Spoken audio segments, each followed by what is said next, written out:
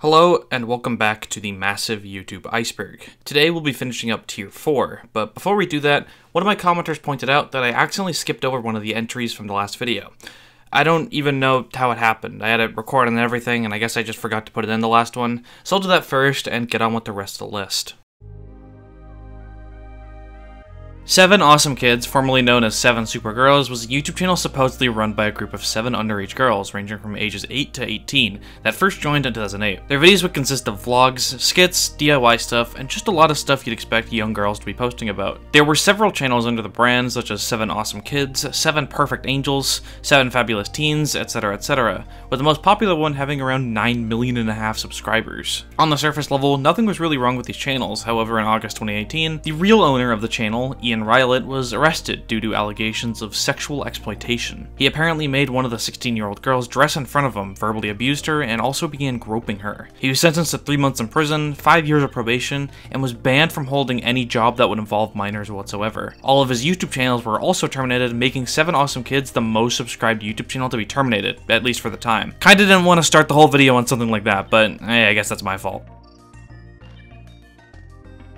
Possibly in Michigan is a short horror film released in 1983 by Cecelia Condit with music by Karen Skladany. The story of the short film follows two women walking around a shopping mall while being followed by a strange man in a weird mask. It features surrealist humor and touches on the predatory nature of dating and romance. I'm personally not very well versed in horror media, but the general consensus says that this is a very unique piece of art, and I've gotta say I really have never seen anything like it.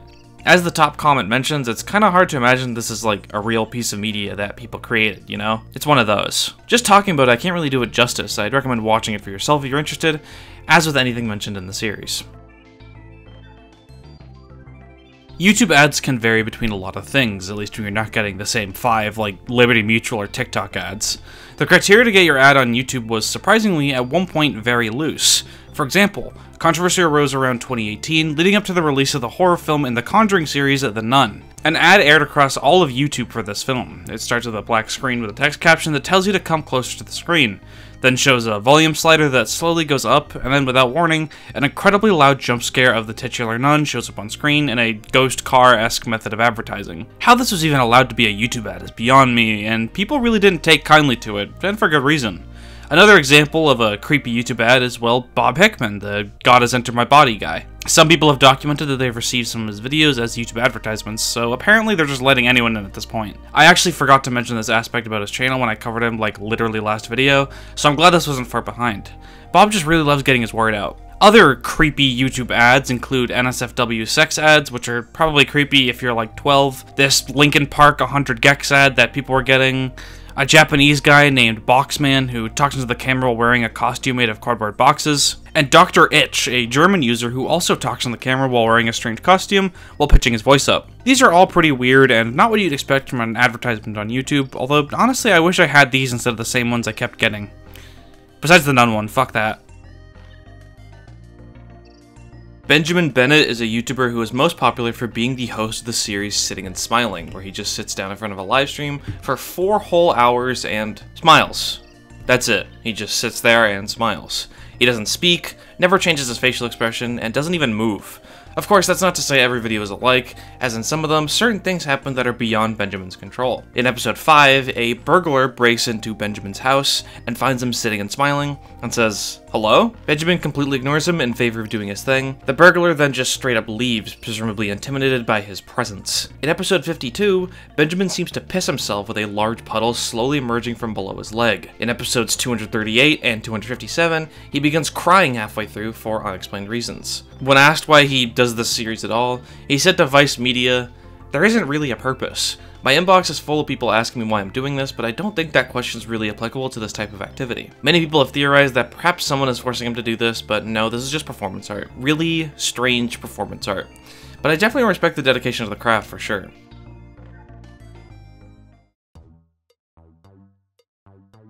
Justin Carmichael, better known online as Jew Wario, was a YouTuber formerly associated with Channel Awesome. He was most well known for his series You Can Play This, where he reviewed and ported Japan-only video games that were still playable by those who didn't speak the language. While he wasn't a crazy popular content creator, he still frequently appeared in collaborations with the Channel Awesome crew, such as films like Kickassia and Suburban Knights. He left Channel Awesome on February 15, 2013, while still continuing to upload to his personal channel, making You Can Play This episodes. However, a year later, on January 23rd, Justin's wife had announced that he had taken his own life with a shotgun after a lengthy bout with financial troubles and depression. Several fans and content creators outpoured with support for Justin, noting how amazing of a creator and a person he's always been, and how it was an immense shock that he was even depressed at all, much less to the point of suicide. There were tons of tribute videos made in his honor, and even a heartfelt, feature-length, two-hour conclusion to Justin's web series Family Kamen Rider, titled Farewell Family Kamen Rider, produced by Channel Awesome collaborator Kaylin Saucedo, also known as MarzGurl. Fast forward a couple years later. As I've already discussed, a massive 70-page document released in 2018 titled Not So Awesome. One anonymous contributor, pseudonym Jane Doe, detailed her experience working with a Channel Awesome collaborator that she opted to not mention that had sexually abused and groomed her and other female members of the channel's fanbase. While the identity of the accused is meant to be redacted, chat logs showed that they were planning on kicking them out February 15, 2013, the exact same day that Justin had left Channel Awesome. About a week after the document released, a Reddit user posted that she had been raped by Justin in her sleep. The legitimacy of both of these claims had been verified by former Channel Awesome producers, and since that point, Jew Wario's heavily celebrated legacy had been tarnished as people learned the truth about him. As you might imagine, a person who had both committed suicide and later was known to have groomed minors is a bit difficult to talk about for really anyone. On October 15th, 2020, a gaming YouTuber by the name of Adam Butcher released a short video essay simply titled What Happened to Crow 64. It was about an obscure Nintendo 64 platformer known as Catastrophe Crow, that the uploader didn't even know existed until he found it by searching through old gaming magazines from the late 1990s. The game was highly anticipated as it was developed by esteemed German game designer Manfred Lorenz, founder of Opus Interactive. It was announced at Space World in 1997 and it seemed extremely promising, featuring groundbreaking level design and mechanics, and was meant to push the boundaries of player experience. However, the release date got pushed back and more and more, and disgruntled employees stated that their experience with working on the game was hellish, and that Manfred simply had lost his mind, destroying himself by continuing to work on the game for years, and eventually culminated with him leaving the country altogether. He then later drowned at sea, taking the game with him. Adam Butcher then reveals that he found a copy of Catastrophe Crow on eBay, and for the latter half of the video, he plays and commentates over it. Now, the thing with all this is, is that Catastrophe Crow was never a real game, and Manfred Lorenz isn't even a real person, neither was Opus Interactive. Everything in the video had been fabricated, including the magazine pages, the GameFAQs screenshots, the Space World footage.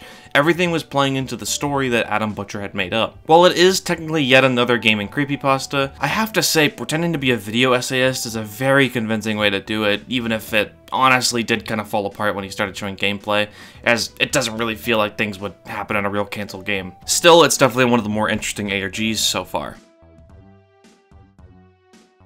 On YouTube, there are a sizable amount of videos that you cannot search for with traditional means, although that makes it sound a bit creepier than it actually is. These videos use ASCII characters that YouTube's search function doesn't know how to register. Most notably of these is this video titled which is simply a failed Mario Kart Wii speedrun. The reason you can't search for it is because these are Japanese punctuation marks, whereas Latin ones can be searched for perfectly fine. Another example of an unsearchable video would be this one by Vsauce, titled I think I've already gone over the idea of channels and videos that don't have a title, and all of those fall under the same umbrella, even though they're higher up on the iceberg.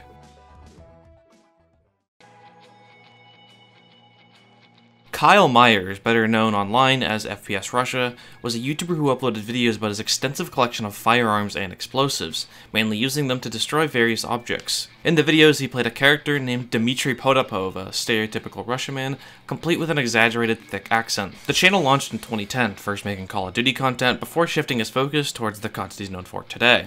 By 2012, he had entered the top 10 most subscribed YouTubers at the time for uniquely tapping into humanity's innate desire to see shit blow up, that no other channel really did. His channel's future was looking pretty promising, but in the first week of 2013, something completely changed the trajectory of his career. Keith Ratliff was Kyle's friend and a member of the FPS Russia channel, who had a federal firearms license which allowed him to obtain the weapons used in the videos. Keith was found on January 3rd, 2013, shot dead in his home. They never found out who shot him, and the mystery remains unsolved to this day.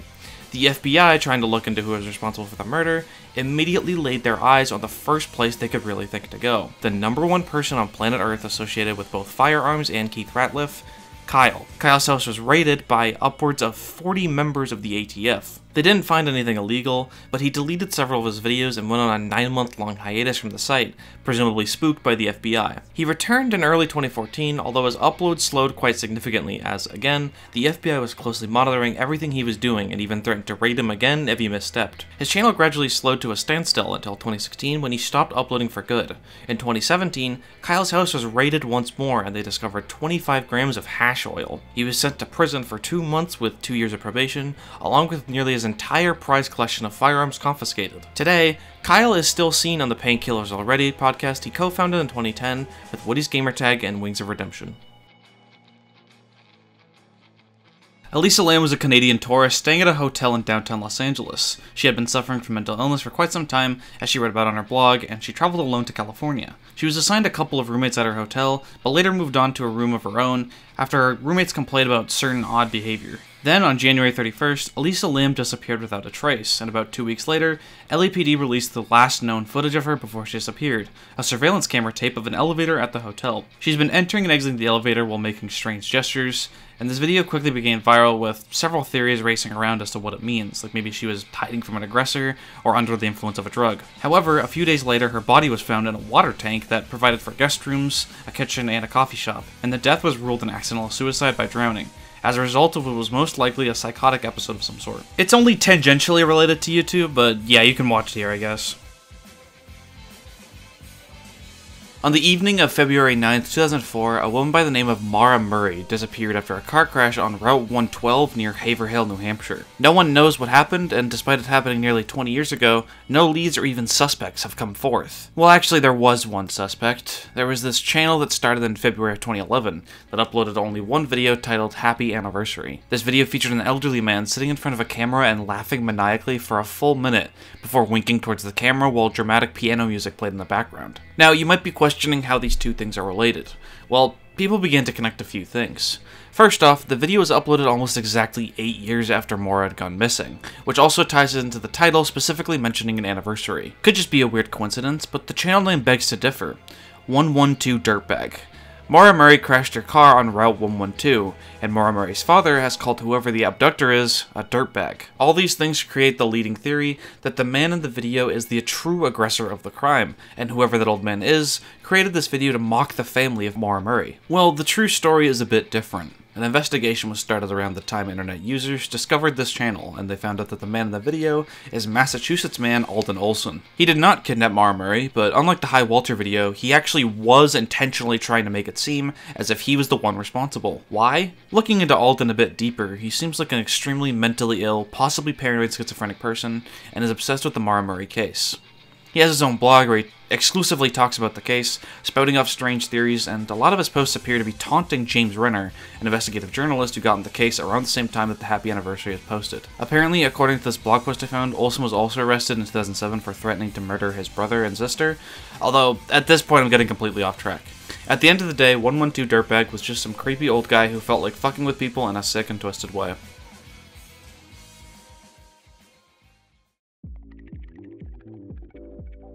Mumkey Jones, now known as Simian Jimmy, is a YouTuber who is quite controversial among most users of the site. He's been uploading since 2007 when he was only 12 years old, however he didn't really gain popularity until 2016 with the birth of his channel, Mumkey Jones.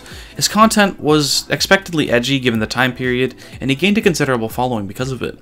He had series such as Mumkey's Declassified Survival Guide, Mumkey's Anime Reviews, Is It Kino, and most famously, his video series where he talks about and mocks mass murderer Elliot Rodger. The videos, if taken at face value, seem to feature Mumkey praising Elliot Rodger's actions, however it becomes quite obvious that the videos are sarcastic mockeries of his ideologies. YouTube staff didn't get the joke, however, and in December of 2018, Mumkey's YouTube account was terminated on the basis that his content was hate speech. He tried coming back a couple times, but every single time, his channel just kept getting terminated. Many saw it as a manifestation of YouTube censoring things that don't really need to be censored. It seems he's back on YouTube now though, on the channel Simian Jimmy. Austin Jones was a musician on YouTube who began posting as far back as 2007 when he was only 15, doing covers of popular songs, and soon branched out to producing EPs and albums. However, nowadays, that isn't exactly what he's known for. In 2015, Austin Jones messaged one of his fans, an underage girl, convincing her to do a video twerking for him. The girl responded, saying that she didn't know how to twerk and asked him to show her. He then sent her a personal video tutorial by him on how to do the dance move. She did not follow the tutorial and instead posted publicly on Twitter for the world to see. A horde of justifiably angry fans lashed out at Austin, leading him to outright beg the girl to delete the post, not like it would help him, because he was going to go on tour very soon. She refused, and this led to an apology video titled Setting the Record Straight, where he tries his absolute hardest to make people feel bad for him. First, he admits that it's all true, and that he did ask his underage fans for twerking videos. Then he immediately shifts topics about how shitty his life is, talking about how his parents divorced, he planned suicide at one point, his father was an alcoholic, his older sister passed away, he never saw his mother, all this shit. That was most likely genuinely very hard to deal with, assuming it's true. But, of course, he was using these things to distract from the main issue at hand.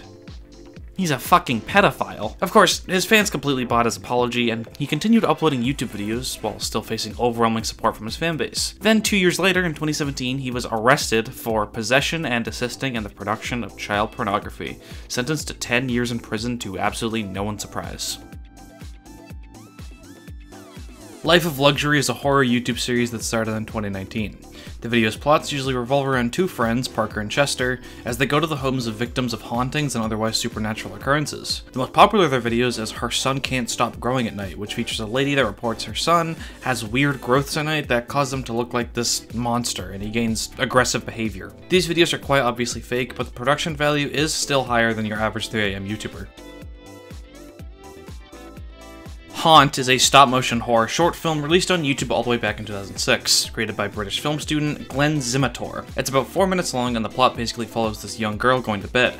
She then looks out her window and sees a mysterious figure standing there. It gradually gets closer to her throughout the rest of the video, before it's finally revealed at the end that the figure is now inside her house. It enters a room with a brief jump scare in the final seconds, and that's where the video ends. Surprisingly, I don't have much else to say on this one, but you should check out this video by a severely underrated YouTuber I found named Jack the Artisan, if you want to learn more about the production of the video. Link, as always, in the description. Paranormal Lana was a YouTuber who joined in 2014. She primarily made horror content such as videos about real life events, spooky stories, paranormal events, and other things of that nature. And she was most well known for a video about the Elisa Lam situation. She was fairly popular, however, in 2015 she disappeared without a trace. She deleted all of her social media accounts, including YouTube, Twitter, and Facebook. Even Rainbot, a fellow content creator who was planning on doing a collaboration video with Alana, had no idea where she went. However, after looking through her old tweets, we can find that she was dealing with a stalker, so the most likely explanation is that she gave up her online identity to avoid said stalker, which is unfortunately more common than you might think.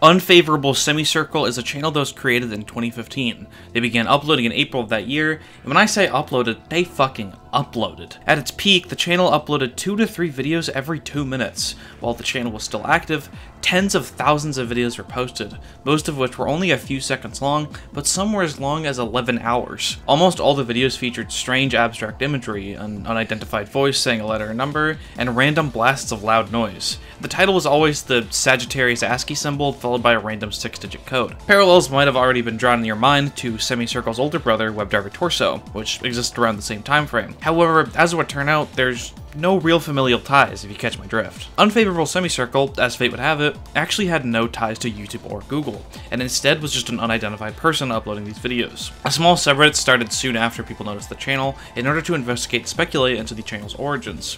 Hell, the channel even got the attention of mainstream media outlets such as BBC, CNET, and Atlas Obscura. However, on February 25, 2016, the unfavorable Semicircle account was suspended for terms of service violations, more specifically, their policy against spam. So what, they're allowed to do it, but we're not? Since it's doubtful that YouTube would terminate its own channel, this outright confirmed that it was something a bit more interesting than Mr. Torso over here. Further investigation into these strange videos revealed some hidden details that later expanded into, you guessed it, another ARG. Unfavorable semicircle lore runs pretty deep, with the true identity of the creator remaining a mystery. However, nowadays it seems to be over, and who I assume to be the creator posted this to Twitter in 2022 with a post titled answers. The post goes in depth on the intentions of the project and that breaking it down as simply as possible, it was meant to feel as inhuman and confusing as possible. What's interesting about this post is that while the unfavorable semicircle community seems to agree that this really is the creator, I couldn't find a single video on YouTube that mentions this. Maybe I'm the first. Pop Blast was a YouTube channel that had nearly 700,000 subscribers before it was terminated. The channel, from what I can gather, seemed to be a strange content farm channel that created false conspiracy theories about fellow content creators and other celebrities, in an effort to gain attention and money from the YouTube algorithm. They became most famous in 2018 for their video accusing Shane Dawson of being a pedophile using spliced podcast clips as evidence, and notably saying that two of his significant others have baby faces. Now, now pause. Shane Dawson's definitely fucking weird. When people talk about the Pop Blast situation, they bring up how the clips were spliced up, but really I can't see a situation where these are okay things to say. In the clips, he talks about how masturbating to images of children shouldn't be vilified and compares it to foot fetishes. He also remarks that he met a six-year-old one time that he thought was kind of sexy. This channel was kind of ahead of its time because two years later Shane Dawson was slammed by the YouTube community for many other comments that surfaced, but that's a whole separate controversy and I'm getting off track. Pop Blast, after posting this video, released a series of strange videos once they started getting attention. These videos would feature strange codes with hidden messages in them that seemed to be them saying they were paid $6,500 to make the Shane Dawson video by a man named Jeffrey Oscar Levin, which is the name of Logan Paul's manager. Realistically though, that was probably faked and whoever was running this channel was probably doing anything they could to cause as much outrage as possible before they got their channel taken down. I believe this entry refers to videos where people re-upload emergency alert systems, more commonly the ones broadcast on TV, ranging from several different countries, such as the EAS we have in the States, the Canadian Alert Ready system, and many more. These are usually characterized by random, unwarned interruptions of broadcasts, loud beeping sounds, and a low-quality voice recording of a stern voice telling you that something has gone wrong. These emergency alerts often fascinate certain parts of YouTube in a way that could be compared to anti-piracy screens. Something about the fact that it interrupts everything without warning to play a loud noise because something bad happens just makes people so invested in these. Hell, some people even make fake emergency alerts like anti-piracy screens for similar reasons. Local 58, which I've mentioned a couple times, is pretty much entirely preying off the fear of these, as are several other analog horror web series. Emergency alerts always spooked me a bit more than the anti-piracy screens, because I'm pretty sure I've literally seen some of these before in an obscured, hazy childhood memory. Christina Grimmie, sometimes known online as Zelda X Love 64, was a singer, YouTuber, and actress. She got her start in 2009 posting covers of songs to YouTube, and from there she would gain more and more attention as time went on. She was a contestant on season 6 of The Voice, which got her recognition from big time musicians such as Adam Levine and Lil Wayne who both offered to sign her to their record labels. She released two studio albums in 2013 and 2017, several EPs and singles, and her YouTube channel was flourishing as well. It would seem Christina had a pretty promising career ahead of her, but as fate would have it, that would be cut short. In 2016, in Orlando, Florida, she performed live at the Live Plaza Theater.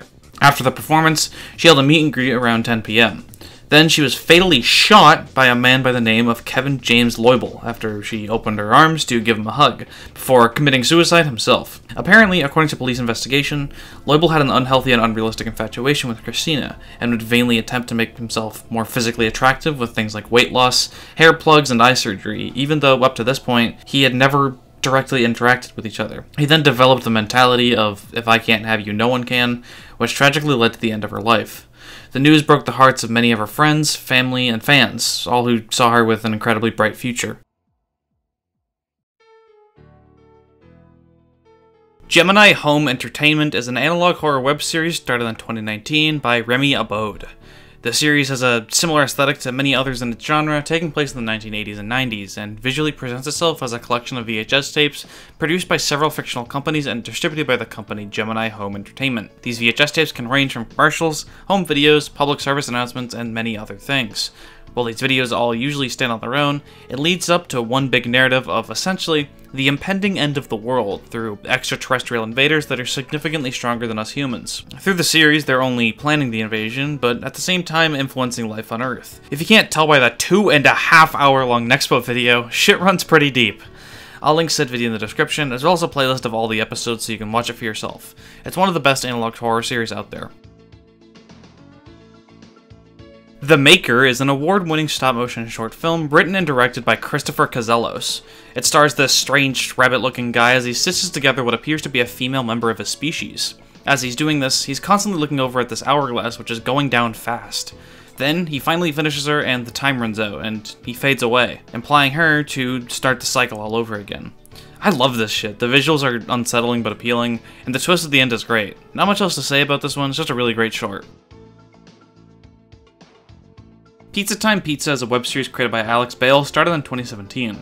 It follows a pizza restaurant called Pizza Time Pizza that's certainly not a cult or anything, just a family restaurant. The first video is what seems to be a parody of pizza commercials, although Near the end of the video, the camera zooms out to someone eating the advertised pizza, then collapsing to the floor with the words kill your parents repeating over and over again. After that, the series branched out into 15 main videos, each building up to, you guessed it, an ARG. It included a couple secret videos, bumping the real count up to 44, and a separate website. You know the drill by this point, explanation video in the description, this time by Inside a Mind. This may or may not come as a surprise to some of you, but I fucking love the YouTube comment section. There's something about it that just feels so much different compared to basically any other social media. Maybe because it's decentralized, for lack of a better term, so there's no real average YouTube commenter. When you think of the average Twitter post, or the average Reddit post, or even the average 4chan post, you get a pretty idea in your head of what that's like. However, with YouTube comments, you can really get fucking anything. Some of my favorite posts are from going on like Friday Night Funkin' videos and looking at the comment section to see what the little kids have to say about their favorite mods. Another example of what I'm talking about is the now defunct internet checkpoints where people would leave live updates on Japanese uploads of Super Nintendo music. That's a great example of a comment section journal, however, it's far from the only example on YouTube. In the comment section of this specific upload of Clair de Lune, you can find a user by the name of Mr. Tortilla. He has been using the comment section as his diary for the past two and a half years or so and doesn't seem to show any sign of stopping. You can go to the comment section right now, sort by newest, and find a comment by Mr. Tortilla that's most likely posted no later than 24 hours ago. And this isn't even the only example of this, as he's inspired several other users in the comment section to start their own diaries. While researching, I also found this commenter on Porter Robinson's shelter, named Just Jeff, who's been going for nearly four years and possibly started the trend. It's a really interesting trend, and it just makes the YouTube comment section that much more comfier. BreadTube, also known as LeftTube, is a loose group of YouTubers who create content relating to a generally left-wing political perspective.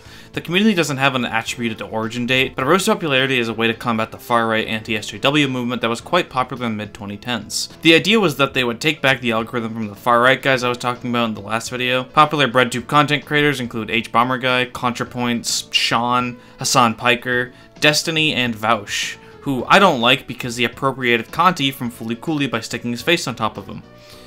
That's not related to anything, I just wanted to express my grievances. BreadTubers usually have significantly high production value to their videos. Now, some of these people have done questionable things, I'm not going to get super in-depth about this one, as that's a political rabbit hole I don't really feel like going down.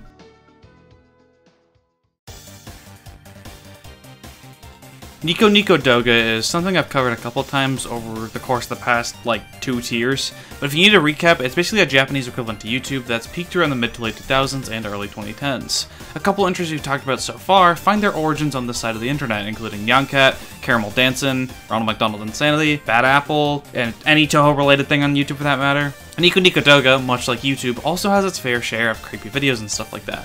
There are of course the disturbing Vocaloid songs that I've already covered, usually complete with disturbing Vocaloid imagery, and a video titled SM666, which is a video where a user tries to go to a Nico Nico channel simply titled 666, and it returns no results.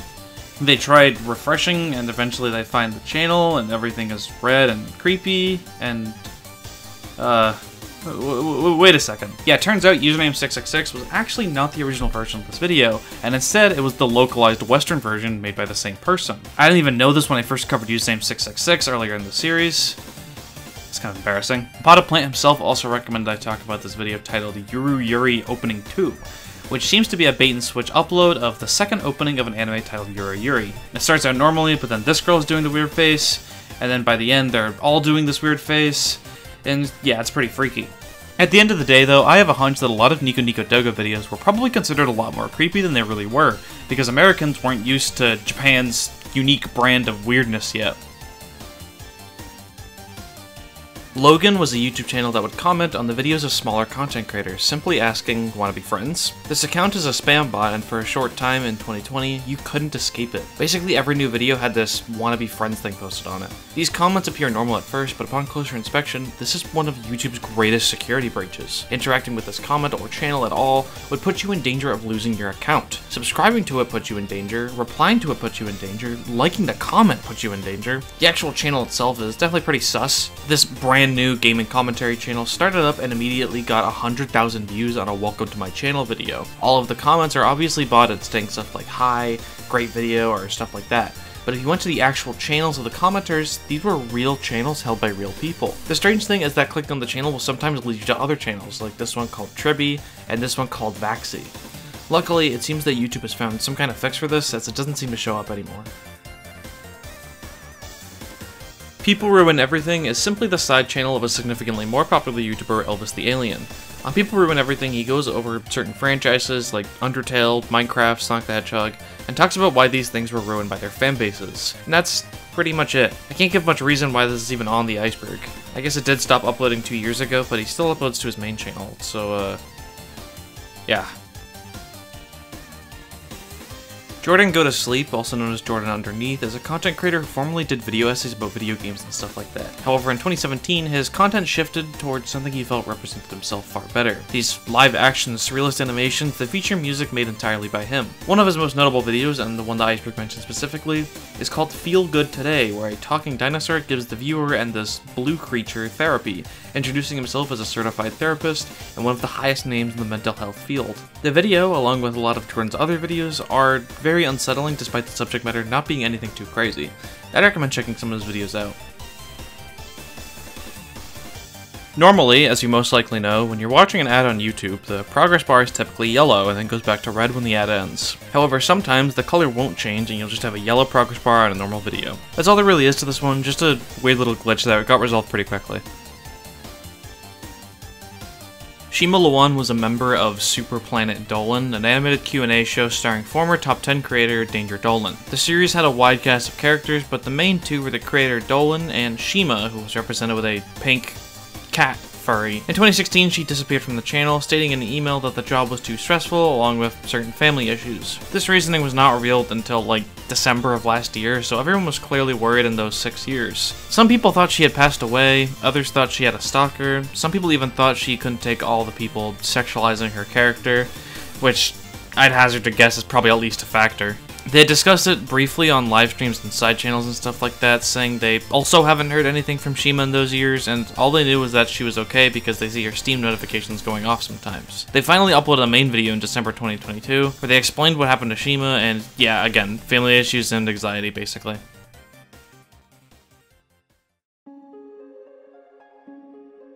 Okay, bear with me for a second.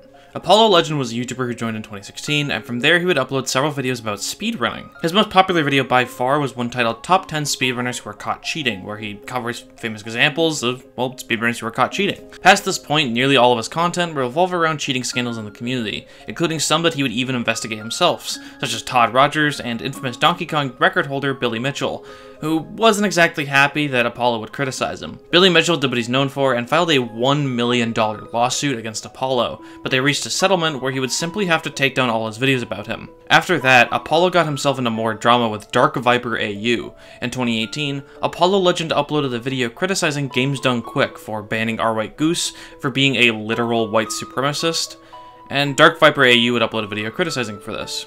This resulted in a feud between the two. Two years later, Apollo would attack Dark Viper for not paying a TikTok editor, and then Dark Viper responded by saying he didn't pay them because they didn't do an acceptable job, and that Apollo was simply attacking him because he held a two-year grudge against Dark Viper because he called him out for defending an ethno-nationalist. Then Apollo responded by making a video called This Speedrunner Thinks I'm Scum, which many saw as a ploy to get attention.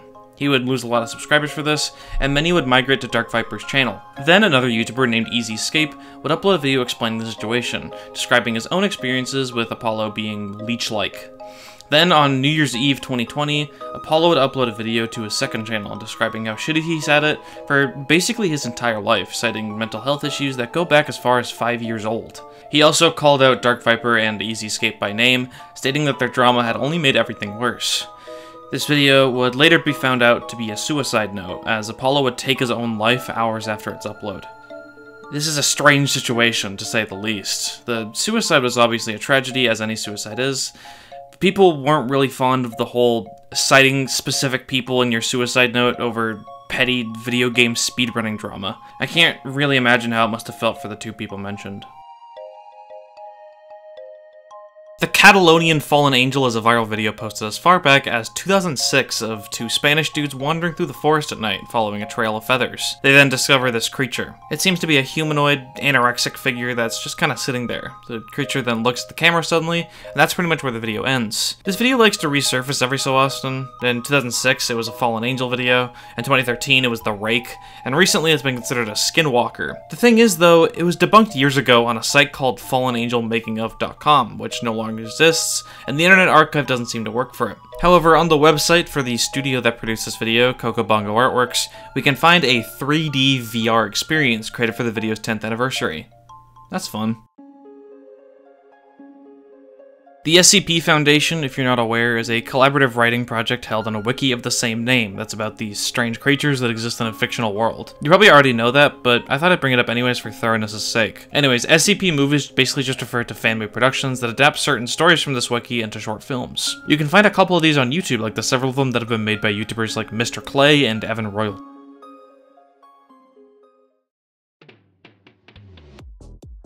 Marina Joyce is a British content creator who joined in 2010 that makes videos such as beauty tutorials, vlogs, and basically whatever she feels like making. She got quite popular from her eccentric personality, and in a few years she would reach 1 million subscribers. However, around 2016, her channel's content was noted by fans to be a bit strange. She acted erratically, and some people even thought she seemed scared or on drugs possibly, or even forced to make videos against her will. She would flinch at certain things like cars going by, and she had become noticeably skinnier as time went on. This would worry fans to the point of starting a campaign titled hashtag Save Marina Joyce. Investigative fans found more evidence that she was in danger, such as an Instagram comment from someone who had met her that stated she saw her surrounded by some creepy looking guys, or of old photos of herself covered in bruises. Some users found silhouetted men in the reflections of her eyes. She dispelled the theories a couple times on her various social media accounts, but many fans didn't buy it, as they believed Marina's account was hacked or compromised. On July 26, she randomly tweeted out to meet her at Bethnal Green at 6.30am for a party, and that you should bring a friend. This is kinda random, and shocked a lot of people as it was very much in the heat of the moment. Some theories even stated that this would be a terrorist attack led by ISIS, the whole thing had so much quote-unquote evidence of Marina being kidnapped or otherwise in trouble, even if a lot of it was just the largest stretch ever or literally just faked. The situation eventually came to a close when the local police department finally said that she's okay and perfectly fine. All in all, the whole situation was simply a case of mass hysteria, not dissimilar to many other cases throughout history, such as those clown sightings that happened literally three months later. Listen, 2016 was a rough year. The Marina Joyce situation was kind of ridiculous and serves as a prime example of how far things can get if enough people believe it. Hell, I wouldn't be surprised if it was the main inspiration for the Kate Yup thing, assuming that's an ARG. The sheer number of quote-unquote pieces of evidence that were brought up and later debunked is staggering, so I'll link a video by Gamer from Mars in the description. So remember how I talked about how much I loved the YouTube comment section with the whole journals thing, and then immediately followed it up with one of the most powerful botnets the site has seen? Well, let's dial it back a bit and talk about another fun thing about the YouTube comment section. Children. You see, YouTube is the favorite app of little kids because they get their Poppy's Playtime Minecraft Friday Friendly Funkin' content streams sent directly to their synapses, and while sometimes they comment on videos. A great example of this comes from Walter Clements, a YouTube user who commented on well, I couldn't find what video it was on, but the screenshot surfaced around 2016.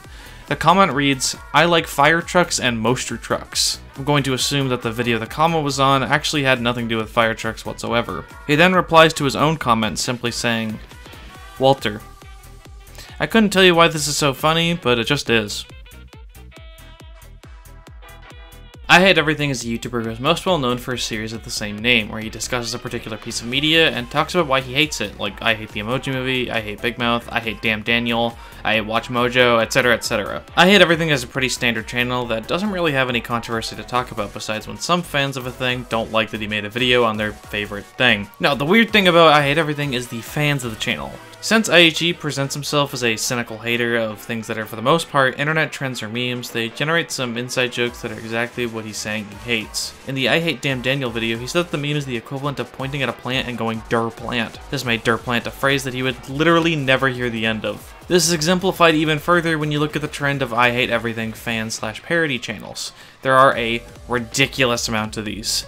I love everything, I care about everything, I build everything, I'm neutral on everything, I'm undecided on everything, I fuck everything, I slap my genitalia on everything, I chin everything, I have a slight aversion of everything, I re-upload everything, I burn everything, I possess everything, I crap everything, I hate literally everything, I trump everything, and I hate the teriyaki chicken sandwich from Subway. It just keeps going and going and going and going. And you click on these videos and it's the most brainless, mind-numbing content imaginable, with them more often than not using text-to-speech rather than their actual voice. Which of course there's nothing wrong with that.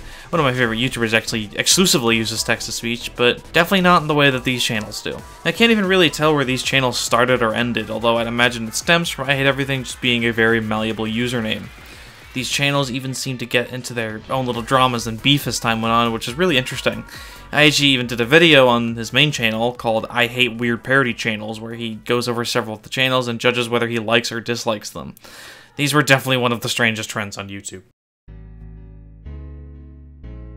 DarksydePhil, commonly abbreviated to simply DSP, is a gaming YouTuber who has been on the site since 2008, although his currently used channel was created in 2010. Since his debut, he's gained a respectable 200,000 subscribers and has uploaded nearly 60,000 videos to his channel. For reference, that's roughly a dozen videos uploaded daily for the past 12 years, and that doesn't even include multiple side channels. He's rather infamous for a whole host of reasons, mainly stemming from his susceptibility to being trolled, and also him just kind of being bad at video games. Really bad at video games. You see, DarksydePhil's fanbase does not originate from him being funny, or good at video games, or anything like that. People watch him because nearly every time he plays a game, he's terrible at it, and every single time he fails, he blames it on basically anything that isn't himself, which has earned him the title the King of Hate. He first earned this nickname in the early 2000s when he was still a Super Street Fighter II professional player, where his biggest claim to fame was getting 4th at EVO on an inferior port of the game. If you look up DSP on YouTube, you won't find his channel, at least not immediately. Instead, you'll find other content creators making commentary videos, video essays, or compilations of stupid moments from his video and streams. Most famous of these is the This Is How You Don't Play series, where people do the Herculean task of watching a DSP playthrough and highlight every time he fucks up while playing a game, which is a series that's been around since 2013, with This Is How You Don't Play MGS2 being the first one. He often says that the whole bad at video games thing is simply part of his comedic persona, that he could be good at video games if he really wanted to. Of course, he's also said that he has no gimmick and that he's the realest person on YouTube, so there's not really any way of knowing which one's the truth. He's gotten into feuds with several other YouTubers and is almost constantly in financial trouble due to lifestyle of sitting around and streaming video games all the time. However, possibly his biggest fuck up, and if you have any prior knowledge about this guy, the clear elephant in the room that I haven't gotten to yet was, as the iceberg puts it, the infamous masturbation stream. In 2016, Phil was doing a pre-stream and thought he shut the camera off. However, he didn't. Viewers got a full look at him choking his chicken on stream. You can't see any explicit bits, but you can very clearly tell what he's up to. This is a blunder that DSP will never live down, even to this day, as that's usually the first thing anyone brings up when talking about him. That's gotta suck. DSP over the years has become one of the most mocked figures on the internet, rivaled only by the likes of Chris Chan. If you want more info on the DSP saga, check out the Down the Rabbit Hole episode on him. Around the tail end of 2020, two things were very popular with the YouTube algorithm. Mukbang videos and Friday Night Funkin'. A lot of strange animation channels that may or may not be run by AI saw both of these circulating around, and thus a trend was created. Friday Night Funkin' mukbang videos, where several characters from the game, as well as popular mods, eat a bunch of food. These videos are bewildering to say the least. Why are there so fucking many of them, and why do they all have millions upon millions of views? I guess literally just combining two things that are algorithmically popular, but wh who's clicking on these videos? Alex Jones is someone I'm sure you've probably heard of before. Conspiracy theorist, host of InfoWars, Sandy Hook truther, thinks the governments are turning the frogs gay. You know, I really don't need to introduce him. In 2018, YouTube removed four videos off the Alex Jones channel, citing them as a violation of long-standing policies against child endangerment and hate speech. YouTube also issued a strike against the channel, meaning that they were not allowed to livestream for the next 90 days. This is the catalyst that brought other content platforms to move his content, such as Facebook, iTunes, and Spotify. Alex Jones would then try to sneak back onto YouTube using an alternative account, which went against YouTube's policy on ban evasion, leading to all of his accounts to be terminated. This is obviously a very controversial event on both sides, as while some people believe this act to be infringing on his God-given right to push hate speech, others were upset at YouTube for not doing this sooner. Derek Savage is the infamous creator of Cool Cat Saves the Kids, a direct-to-video educational film that was created to teach kids about bullying and the dangers of firearms. The movie gained infamy when YouTube reviewers such as Your Movie Sucks and I Hate Everything reviewed, criticizing the movie for being generally terrible on all accounts. Unlike someone like Tommy Wiseau, maybe, who rolled with the punches, Daddy Derek wasn't very fond of people making reviews shitting on his intellectual masterpiece. This would lead to possibly one of the most egregious cases of copyright claim abuse in YouTube's lifespan. He would not only copyright claim videos, but attack reviewers personally, threatening legal action if they don't take down the videos, and even pretending to be law firms in order to intimidate them. The Derek Savage Cool Cat saga is long and winding, so I'll just recommend you... No, that one's too long. Watch this one instead. Angry Video Game Nerd, as I talked about in Tier 3, has a legacy that can't really be overstated. He was essentially the pioneer of the guy reviews video games with skits interspersed throughout genre of YouTube reviews that's extremely common to this day. JonTron, Peanut Butter Gamer, Scott the Woz, Angry Joe, they all find their ancestral roots in one common link. However, back in AVGN's prime though, people were a lot less subtle with their inspirations. There are a couple of infamous cases of this, I fucking love these guys. Irate Gamer is probably the most famous of these, as he was probably the closest to emulating the AVGN style, production quality wise. He received a lot of backlash from what was clearly him mimicking the format, and his videos were generally considered to be significant inferior in terms of humor and quality. The Irate Gamer ditched this style of content sometime in the 2010s and is known today as the Gamer from Mars. That's completely untrue, by the way, I just lied for no reason. I'm sorry. Another AVGN I'm particularly a fan of is the Pissed Off Angry Hardcore Gamer, a Russian creator who reviewed games and consoles he didn't like, kinda like the Angry Video Game Nerd. I've often seen him called the internet's worst video game critic, and his reviews kinda live up to that title. He would often do most of the review in a slow, monotonous voice, and then the red eyes would show up and he'd start screaming. And when I put in the shitbox 360, it, fuck, it fucked it all up. So all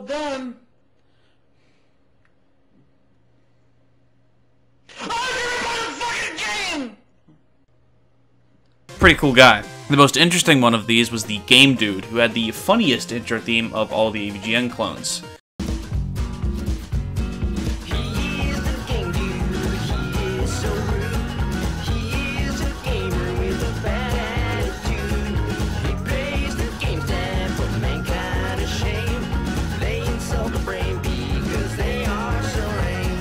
Game Dude overtly stated in his title screens that he was inspired by the nerd, or nerd-spired, as he would say. Good one. The reason why this one is the most interesting one, though, is something that runs a bit deeper than just the shady videos on the internet, that I think I'm gonna save for the honorable mentions video.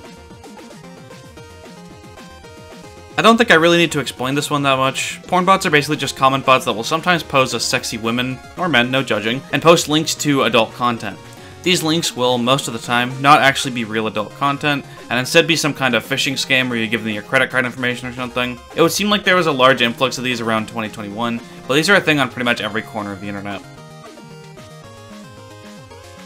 SS Sniper Wolf is a YouTuber with 30 million subscribers who does reaction videos, commentary, vlogs, and gaming videos. While Potted Plant admitted to me he put her here in error, not realizing how popular she was due to him living in Asia, there's an interesting event that happened pretty recently that I feel like I could talk about. In late 2021, a 10-year-old girl was diagnosed with terminal cancer and her wish was to meet Sniper Wolf. And then, I guess she ghosted the mother of the girl, then Keemstar got involved and told her off. She deflected the criticism. Then he posted this video to Twitter and he was really angry. You know, this situation is kind of convoluted and I can't really tell who was right or wrong, but yeah, it's the best I could find for SS Sniper Wolf. Badabun is a Mexican YouTube channel which is run by the Badabun Network, a major network for the Spanish-speaking side of YouTube, tied in with several large content creators. The channel itself has around 46 million subscribers and is the third most subscribed Spanish-speaking YouTube channel behind Hola Soy German and El Reino Infantil. It's always the fucking baby channels, man. Over time, Badabun has had its fair share of controversies. There's the Hola Soy German versus Badabun subscriber battle, which seems to me like the Spanish version of T-Series versus PewDiePie. There's also apparently accusations thrown around of sexual harassment, homophobia, and labor exploitations at the company. However, the reason I knew about this channel before making the iceberg, despite not being a Spanish speaker, is their ridiculously terrible fake speedrun of Super Mario Bros. In 2017, they uploaded a video where one of their creators, Tavan Betancourt, speedran the game, and yeah, the footage is basically spliced from several other top-level speedruns, as well as tasks, performing some inputs which aren't even possible for a human. This resulted in a video by Karl Jobst three years later, which led Badabun to get a whole lot of criticism. Dhar Mann is a YouTube channel with over 17 million subscribers. The videos on this channel usually feature scripted skits where the characters learn a moral lesson by the end. They're pretty basic lessons and they're usually considered kinda corny. Again, this is another entry that Potaplant told me he put here in error, and also told me to make fun of him in the video for putting them here, so... Uh... Fuck you for not being American, I guess. I suppose there was the whole protest Dhar Mann thing that happened three days ago as of writing the script, where several actors came forward and said they're not being paid properly, and that most of them live in poverty, and apparently the man himself dodges employees when they asked about pay. So that's fun.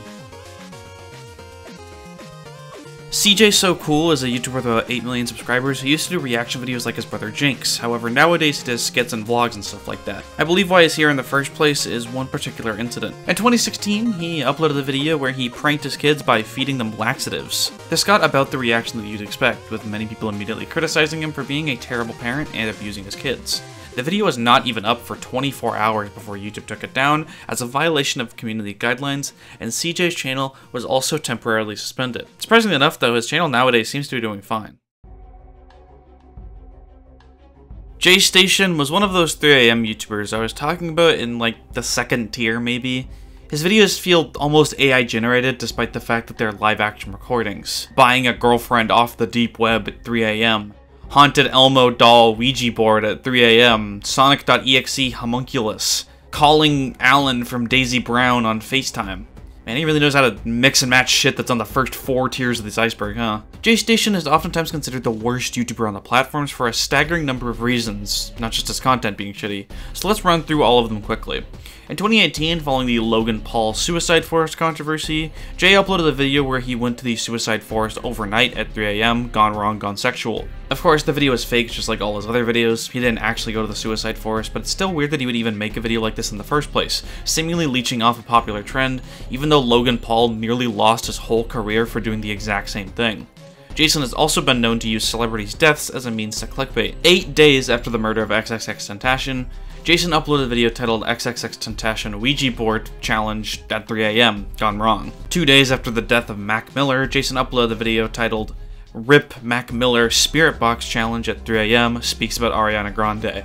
Finally, the one he got possibly the most criticism for was a video uploaded mere hours after Etika's passing, where he does the same thing, uses a real-life death as a creepypasta Herobrine sighting shit. In the same video, he even talks about Etika, saying that if you don't have it as bad as he did, you're not actually depressed, and that you should suck it up, effectively not only insulting a dead man's honor, but also literally every viewer that suffers from depression. He also criticized YouTubers who made tribute videos to Etika, saying that they're monetizing a man's death, despite the fact the video was monetized. He deleted the video, but yeah, people were never going to forgive him after that. Not like it really changed at all, because a year later, he would go on to make a video where he sits in front of a camera and explains with teary eyes that his girlfriend Alexia had passed away in a car accident, that he was heartbroken. Five days later, he would upload a video titled Dead Girlfriend Ouija Board Challenge at 3am Gone Wrong. You cannot make this shit up. Turns out his girlfriend wasn't actually dead, and it was all for the content. She then came forward soon after and talked about how he was very abusive to her and that they had a very unhealthy relationship, which, I mean, no shocker there. All of this is only a quick run through of the nasty shit JayStation has gotten himself into over the years, and if you want a more in-depth look, then check out The Worst YouTuber of All Time by Nerd City and Colossal is Crazy. It has some very high production value and is well worth the hour-long runtime. Shadbase. Oh god, where to begin? This is the YouTube account of an infamous artist known as Shadman. He's not particularly known for his YouTube channel, more sticking to his website, also called Shadbase, but he does maintain a pretty substantial 300,000 subscribers. He's a Rule 34 artist, although he's a bit edgier than your average Coomer. The big thing is that he really, really likes lolis, which, if you're not familiar, is pornographical art of underage anime or cartoon characters. Now, this is already disturbing, disgusting, reprehensible, and degenerate as is, but Shadman kinda goes a bit further beyond, drawing porn of real life children. He's drawn suggestive art of Lieutenant Corbis, for example, who was a commentary YouTuber who at the time was 11 years old. In 2016, he promised that if Donald Trump won the election, he would draw suggestive art of Keemstar's then 7 year old daughter. Which happened. He also drew art of 12 year old child actor Dafne Keen, resulting in a cease and desist order from her lawyers. He's also had some non child porn related controversies. One example being that on Mother's Day, he drew porn of his own real life mother. Another example is that about a day after the passing of Edd Gould, the creator of Eddsworld, Shadman would draw art of his character getting raped by the Grim Reaper. Hell, even one look at his avatar can tell you this guy is a complete and utter edgelord. The crazy thing is that he is incredibly popular and that many popular content creators would willingly associate with him, despite both sides of the political spectrum hating his guts. In 2021, Shadman would be arrested in Los Angeles for assault with a deadly weapon, which is not the crime I was expecting him to be charged with. Elliot Rodger was a man living in Isla Vista, California, who was dealing with mental health issues. He ran a YouTube channel that's since been deleted where he uploaded vlogs about how he couldn't get girls and how life was unfair, you know, standard incel shit. In 2014, he would go on to kill three students in his apartment complex by stabbing them to death. He then drove his car to a sorority house where he would shoot three women, killing two of them. Finally, he would drive his car through the town, striking people with his vehicle and shooting more people with his firearm. He would then finally die from a self-inflicted gunshot. In total, six people lost their lives that day, not including Rodger himself, and several others were injured. It paints an example of just how violent incel behaviors can get if left unchecked. Randy Stair, better known by his online aliases Andrew Blaze and Pioneers Productions, was another obscure YouTuber turned mass shooter. His YouTube career was pretty extensive as he would create his first YouTube channel back in 2007.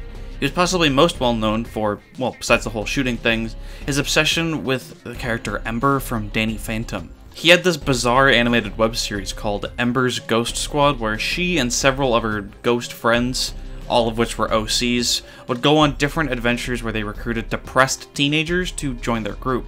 Around this time, he also became obsessed with the Columbine shooting, so I'm sure you know where that's going. In 2017, he would upload an episode of Ember's Ghost Squad called Westboro High School Massacre, where the characters would shoot up a school.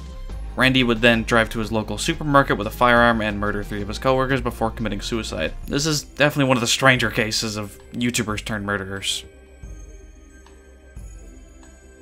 Diamond Gate was a loophole in YouTube's algorithm that I believe was discovered first on Reddit. There are, or maybe were, thousands of videos titled stuff like Best Diamonds in the World, Best Car Insurance, Diamond Sky, Top 10 Best Diamonds in High School.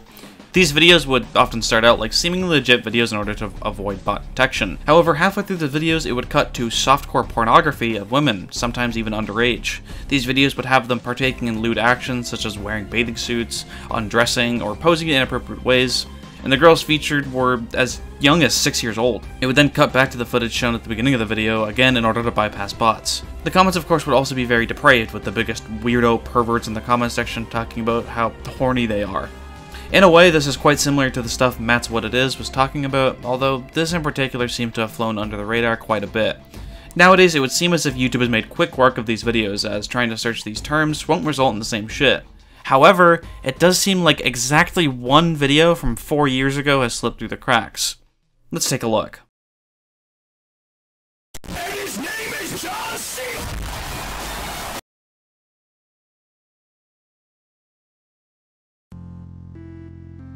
And thus concludes Tier 4 of the YouTube iceberg. By now, we're around a third of the way done with the whole entire iceberg. To those of you who have been sticking around thus far, thank you so much for supporting these videos. I don't actually monetize any of them since I haven't hit a thousand subscribers, and I sometimes use copyrighted music anyways. I mainly just make these videos for myself really, as it just stemmed from no one's covered this iceberg yet, I want to be the first. That being said, I do enjoy reading every single one of your guys' comments, as they're a lot nicer than I expected.